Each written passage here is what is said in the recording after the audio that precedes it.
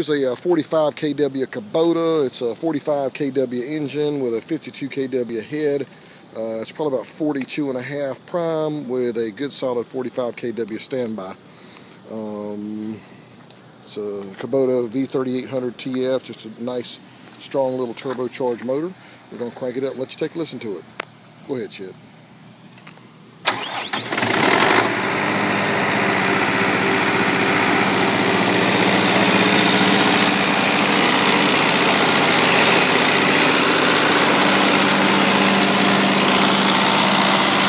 There you go, Kubota 45 kW.